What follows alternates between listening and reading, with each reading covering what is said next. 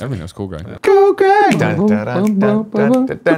Greg. He knows things about the night that I'll never know about the night. about the night.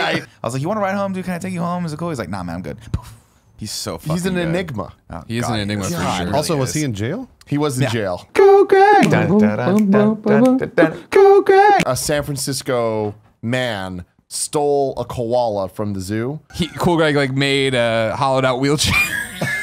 they put the koala in the seat and then put like grandmother glasses Oh, on it, yeah. and a little Like granny Weekend wig, Bernie's, and the then Weekend at just Bernie's. rolled them out. He hit in the hollowed out. I don't know why it was hollowed. They were just worried about it weighing too much. Go Greg!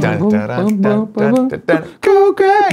My Lyft driver asked if I was holding a toothbrush. fucking best. I'm like, yo, what the fuck you talking about, dude? And he said, what's that in your hand? And I'm like, homie, this some string cheese. What the fuck? He then immediately replies saying, I guess you had to be there. I don't know. Shit was weird though. Trust me. Yeah. Go Greg! Go Greg! Cool Greg bot.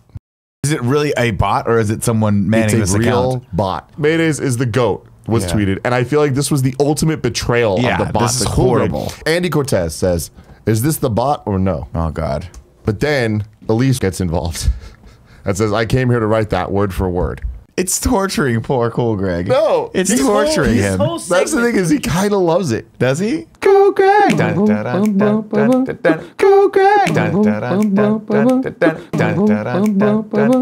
Go Greg!